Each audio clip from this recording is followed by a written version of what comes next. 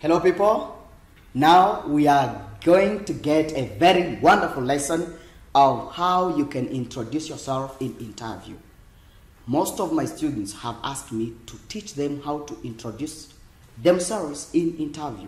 How you can go in front of the interviewer and you introduce yourself in a very good way. Don't miss this lesson. It's a lesson that is going to help you. Good. Let's get started. Reka dutangire natangiye vuga ngo tugiye kubaha isomo rijyanye n'uko ushobora kwitwara cyangwa se kwisobanura muri interview mu gihe interviewer uri uri kugukoresha interview aguhaye umwanya wo kwisobanura wo kugira icyo umubwira ku byerekeranye nawe uwo uriwe that's what you are going to see ni byo tugiye kureba First of all, you should begin by greeting that person. Ugomba gutangira usuhuza wa muntu. Good morning sir or good morning madam. Niba ari umugabo uri kugukoresha interview, it's better to say good morning sir. Sir ni akajambo keza ni ho uvuga ngo monsieur amakuru ni ho uvuga ngo nyakubahwa ndabasuhuje mwaramutse mbere y'uko ugira ikindi kintu uvuga my friend good morning sir or good morning madam.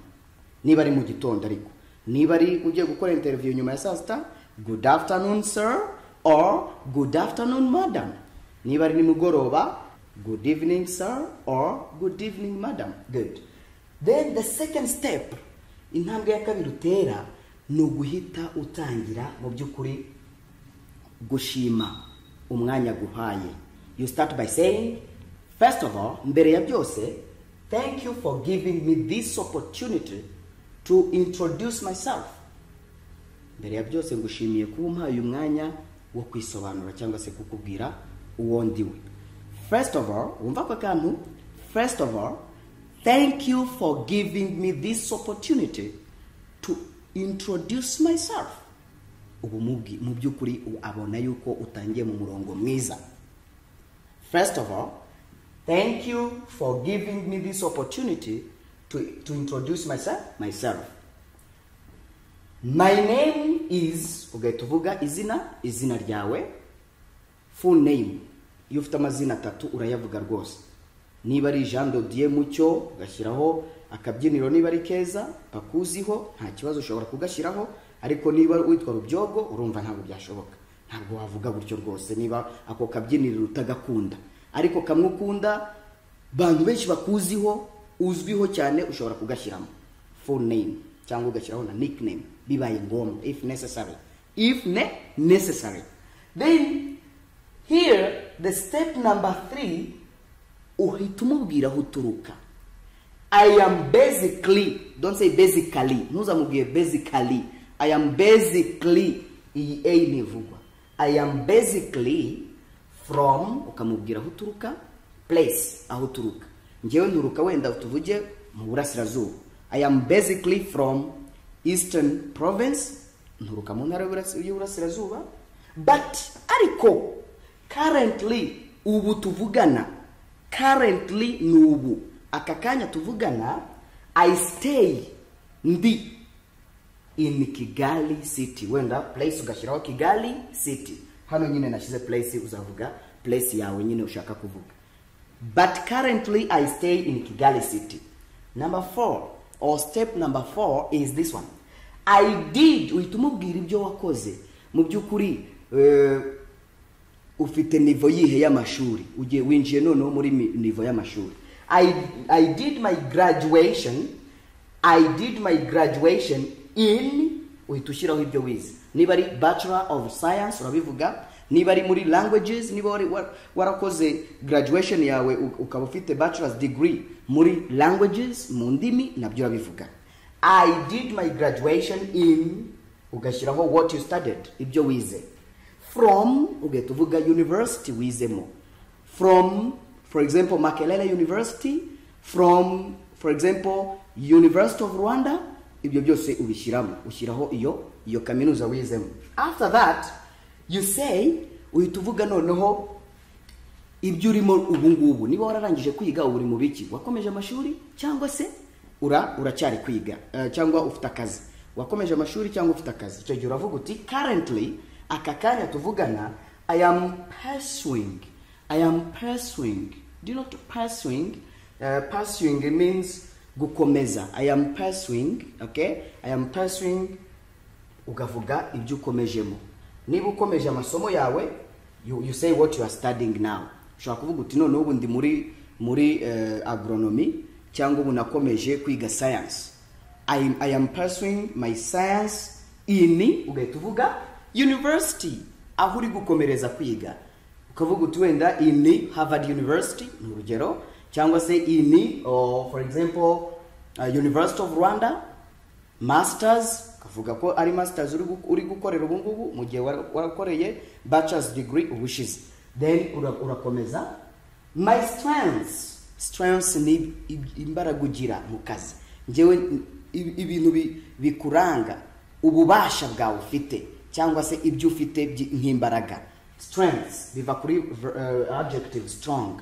Strong ni umuntu ukomeye noneho strengths ni naho ukomeye ukomeye he? Eh, my strengths are self motivated to be self motivated ni ukumva wakora ubwawe udategereje motivation ivuye ahandi.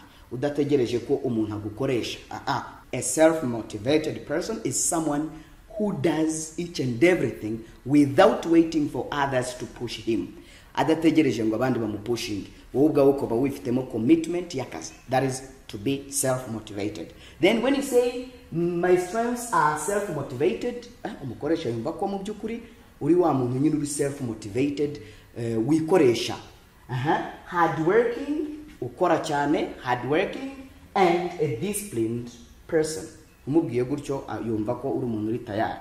Hmm? a self motivated person hard working person and a disciplined person. Kuba unafite discipline uri umuntu w'imico myiza good. Then number seven step number seven you can say my short time goal is to get a job in a reputed company.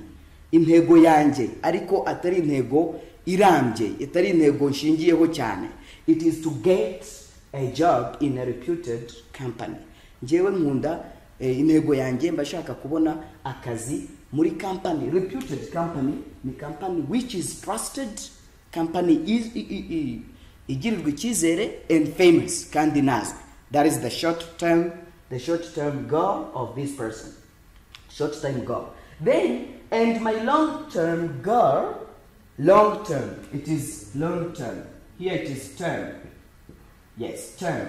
And my long term goal is to achieve a good position when I can build my career and help the organization too. uhita uti my long term goal nono intego yanjye intego zanjye zirambye is to achieve to achieve Uza- uzamenya aka kantu long term goal is to achieve a good position. Ni ukugera ku, ku, ku mwanya mwiza. Ubundi iyo umuntu akora akazi aharanira kugera ku mwanya yifuza kandi mwiza. Rero uyu muntu ushobora kuvuga short term warangiza ukavuga na long term. My long term goal is to achieve a good position ni ukugera kuri position cyangwa se umwanya mwiza where i can build my career and help the organization too. Aho nshobora kubaka career. Career ni kariyeri yawe nyine ibyo wize ukabyubaka neza kandi ukanafasha organization and help the organization too. Impamvu uvuga ibi ngibi ni ukugira ngo umukoresha abone ko uri tayari. Umubwiye long term short term goal unamubwiye long term goal intego zawe zirambye n'izi- n'iz'igihe gito. After that you can say my hobbies. Agomba no kumenya ibyo ukunda. Ariko biba byiza guhera ku bintu bifite ubwenge nyine. Ntuzavuge ngo ngewe nkunda i like swimming urekera aho ngaho. No. It's better to say my, my hobbies are reading books. Ah, niyumva ukunda gusoma ibitabo. Uzavuga this person is very intelligent. Just he spends his time in reading. He doesn't spend his time in playing cards. Uyu muntu ntabwo akina amakarita ntagira ati eh uzatangiza reading books. Cooking. Niba ugiye gusaba akazi kerekeranye n'ibyo cyangwa se ushobora no ku- kuba uteka kubera ko ari ibintu ukunda nyine ukabimubwira. But it's better to tell him the hobbies that are related to the job that you need. Ni byiza kujya uvuga hobbies ibyo ukunda nyuma y'akazi ariko bijyanye n'ibyo n'ibyo ugiye gusabaho akazi urugero wize computer ugiye gusaba umuntu akazi eh, ni byiza kuvuga uti ngewe rero hobby yanjye ni ukureba uko abandi bakora. Wenda tuvuge programs zitandukanye za, mudasobwa kuri mudasobwa. Icyo gihe umuntu azahita yumva ko ibyo ibyo bintu uri muri domaine n'ubundi na hobby yawe ari domaine y'ibyo ukora. Then after you can say my hobbies are reading books. Ukabanza icyo ngicyo gusoma ibitabo cooking and listening to music. Warangiza ukavuga uti ariko rimwe na rimwe nana nshobora no kumva umuziki. That is the hobby. Then after you you should do say that's all about myself. That's all about my, myself. Why this? Ni nko kumwereka ko usoje ibyo wamubwiraga.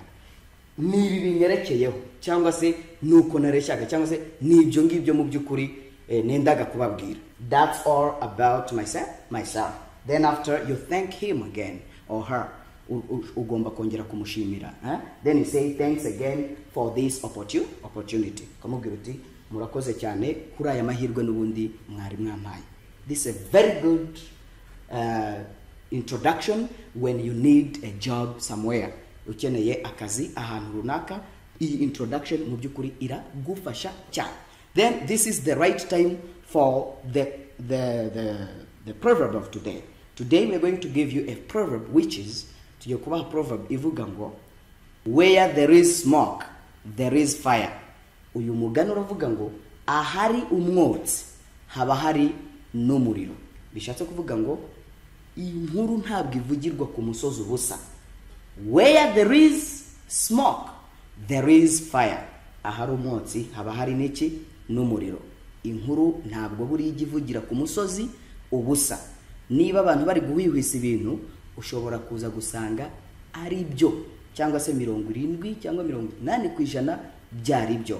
Where there is smoke there is fire. Kuko nta hantu hari hashobora kuba umuriro hatari umwotsi. Umwotsi niwo ubanza eh, hari abacanye.